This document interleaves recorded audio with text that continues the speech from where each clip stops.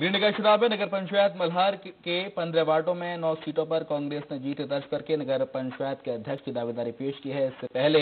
दो पंचवर्षीय से नगर पंचायत पर भाजपा का कब्जा था। भाजपा और कांग्रेस के बीच कड़ी मुकाबला देखने को मिला और इस बार भाजपा को हार का सामना करना पड़ा और कांग्रेस ने नौ सीटों पर अपना कब्जा किया और छह सीट भारतीय जनता पार्टी की झोली में गई है।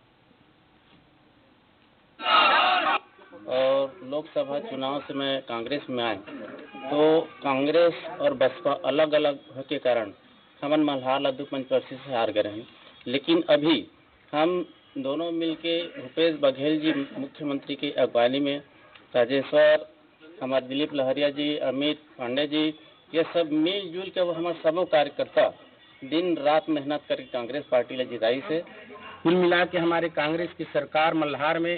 आज बना है, बहुत खुशी की बात है। हमारे सभी कार्यकर्ता को बधाई और मल्हार नगर पंचायत के जितने भी हमारे कार्यकर्ता हैं, कांग्रेस परिवार के और सभी पार्षद भाई जो जीत के आए सबको बधाई। और यहाँ मल्हार नगर पंचायत में एक नारा था,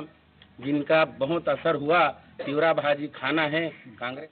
कांकेर नगर पालिका में